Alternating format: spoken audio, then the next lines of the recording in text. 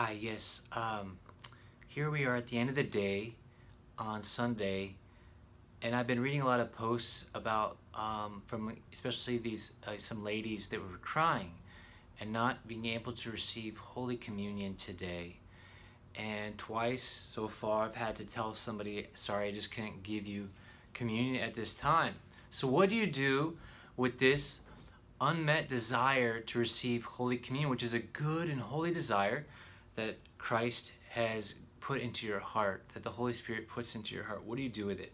Is it just a total injustice against God's will? Well, obviously, right now it's not. God is allowing this, and through our leaders, He's told us through our own safety that we can't gather.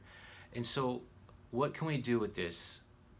So, one thing I want to encourage you is to see that perhaps God is calling you to go deeper into this thirst and hunger that you have for the Lord Jesus. It reminds me of St. Mary Magdalene. Remember when she goes to the tomb and she's looking for Christ?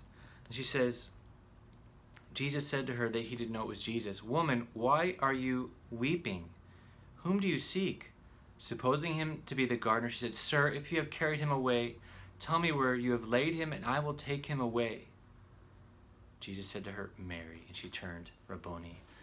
Christ looks to all of you. So St. Mary Magdalene is a special uh, saint. I think we should ask her intercession, right, for this longing to have Christ, right? his flesh, his body, blood, soul, and divinity, to be able to receive him. And this year, I think it's no coincidence that we heard in a Pew study that 60% of Catholics don't believe in the real presence of Christ in the Holy Eucharist. Um, of course, of those who attend Mass every Sunday, it's 30%, but still, that's very low number and it's unacceptable. And so I think this is a sacrifice that you can offer to our Lord and to long for Him and to, to share this suffering with Him, this longing for Him, offering it up for the people that don't hunger for Him. It reminds me of the prayer of the children at Fatima. My God, I believe, I adore, I hope, and I love you. I ask pardon for those who do not believe, do not adore, and do not hope, and do not love you. And then you can add in the most blessed sacrament.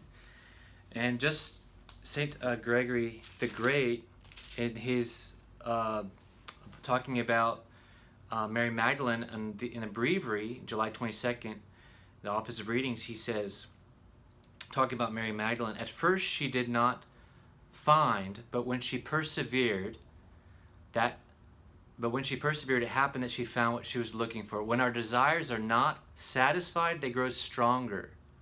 And becomes and becoming stronger, they take hold of their object. Holy desires likewise grow with anticipation. And if they do not grow, they are not really desires. As David said, My soul has thirsted for the living God.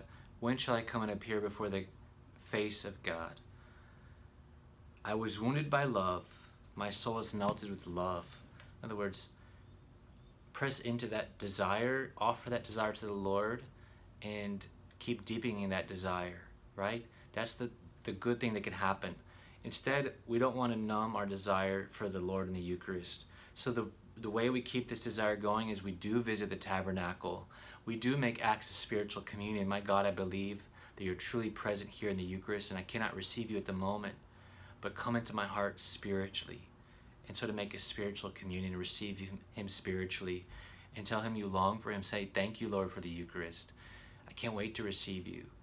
And I pray that this will that in this time of darkness, you could say the light of who we are as Catholics will shine brighter. The light of our teachings of the Holy Eucharist uh, will shine brighter. I mean, we're the last, I would say, Christian group to meet. I mean, they were we were meeting um, because right up until nobody met because with other, I'm sure other groups too, but it was because of our faith in the Eucharist, right?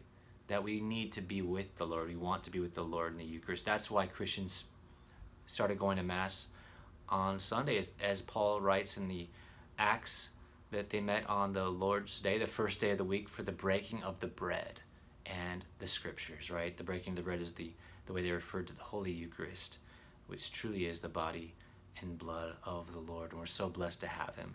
And He's right here. And so I am praying for all of you and in sharing my longing, uh, my adoration on behalf of all of you that this virus may pass.